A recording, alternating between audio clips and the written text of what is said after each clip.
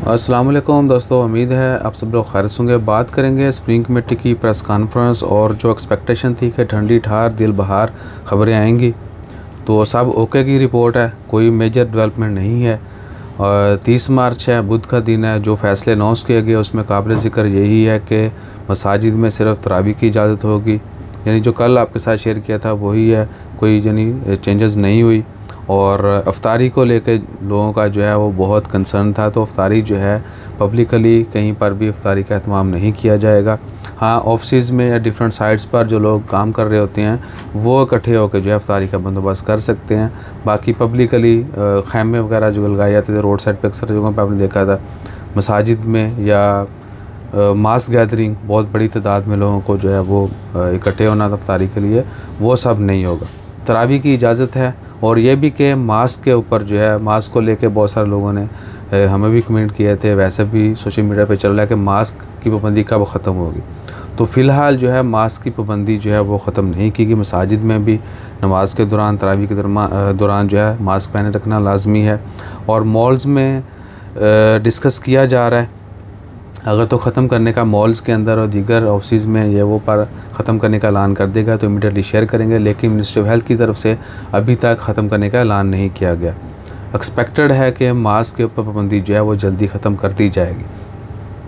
उसके बाद है, सारी जितनी भी खबरें हैं, वो है कि ओमान में टोटल 90 परसेंट पापलेशन जो है उन्होंने दो डोज़ लगवा ली हैं और अराउंड 20 परसेंट के आबादी, यानी ऐसे लोग हैं टोटल आबादी का 20 परसेंट जिन्होंने तीसरी डोज़ भी लगवा ली है और बूस्टर डोज़ अभी तक मैंडेटरी नहीं की गई।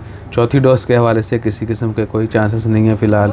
डेंगी के केसेस बढ़ रहे हैं तो आपने हमेशा केयर करनी है। मिनिस्ट्री ऑफ़ हेल्थ और दीगर अथॉरिटीज़ जो हैं वो भी कंपेन भी चलाई जा रही है और सेफ्टी के हवाले से स्प्रे और दीगर अद्वियात भी यूज़ की जा रही हैं। पिछले 24 घंटों में 50 केस रिपोर्ट हुए हैं। उसके बाद जो ख़बर है स्प्रिंग कमेटी की प्रेस कॉन्फ्रेंस में यानी यही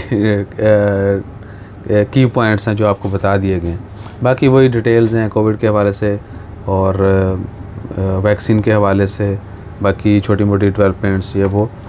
तो जो इब्राम एबरी में जो वो रॉक स्लाइडिंग का वाक़ हुआ था, वहाँ पर सात पाकिस्तानी जो हैं वो वफात पा चुके हैं। इन हराजुन, सबकी मगफरत के लिए दुआ कीजिए। और है टोबाकू पाउडर्स जो है स्मगल करते हुए एक ग्रुप पकड़ा गया। अल्लाह ताला उनको जो है हदायत दे।